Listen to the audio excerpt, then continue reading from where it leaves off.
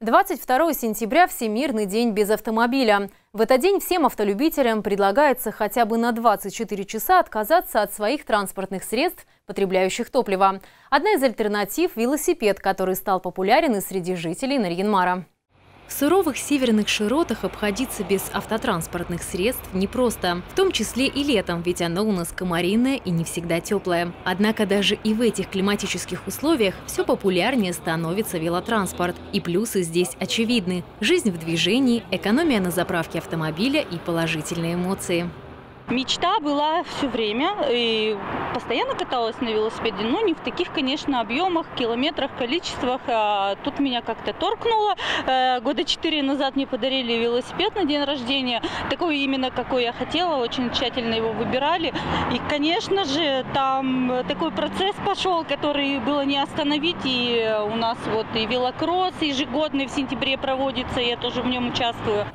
Велокроссы в регионе становятся популярны. Традиционно в августе-сентябре группа активистов из Ненецкого округа покоряет все более дальние расстояния, доказывая себе и окружающим, что велоспорт – это здорово.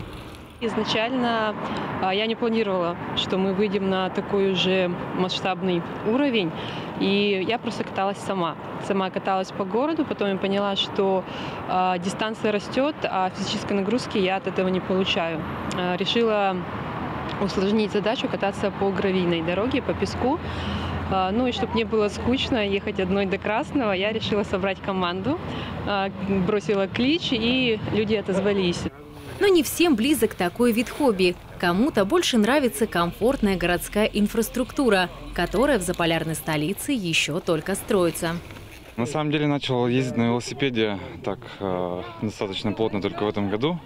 А, проблем никаких нету, в принципе. Водители аккуратно объезжают, поэтому у нас в городе, я думаю, достаточно комфортно. Тем более сейчас делают новые, получается, велосипедные дорожки. Единственное, они не очень ровные. Наверное, а, лучше бы было, если бы было, были они асфальтированы, как, в принципе, проезжая часть а, тогда движение было бы гораздо приятнее. Я не считаю, что это велодорожки, потому что это брусчатка, по ним ехать в принципе неудобно. Велодорожка, я понимаю, что это какая-то прилегающая территория идет от основной трассы, ну, где вот мы можем наблюдать в других городах, да.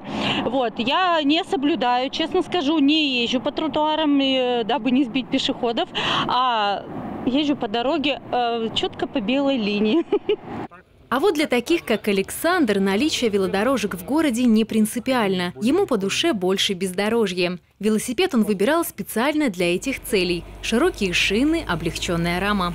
Как раз таки для нашей местности мне, как только они появились, начали там где-то в интернете проскальзывать фэтбайки.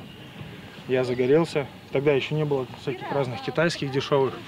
Этот очень дорогой велосипед для меня. Удобно по лесу, по грязи, по пескам по асфальту на нем почти не езжу. Ну, не нравится это ощущение. А по такой местности лесной, как у нас, в принципе, везде в городе Наринмар, очень классно. Приятно видеть, что в выборе транспорта погодные условия не помеха для жителей Заполярья, потому что они думают о своем здоровье и экологии нашего региона. И хочется верить, что с каждым годом такая тенденция будет только расти. Екатерина Дементьева, Владислав Носкин, Владислав Ткачев, телеканал «Север».